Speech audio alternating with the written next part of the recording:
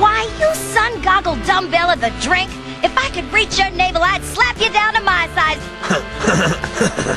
Showing some consideration is too plebeian for a big-time operator like yourself, ain't it? You swear from Delaware? You scaly son of a fishmonger, ain't it, huh? If we were on dry land, you wouldn't be so tall, tan, and terrific, dig me? If we were touching our toes on my turf, I'd like to see how big bad Leroy Brown you'd be.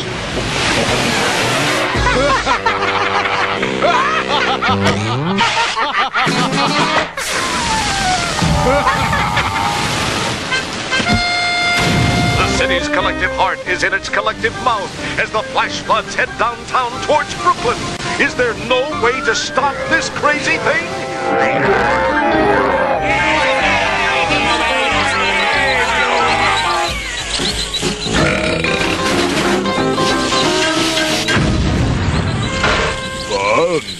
They're just a little something to aid me in hitting the perfect bullseye.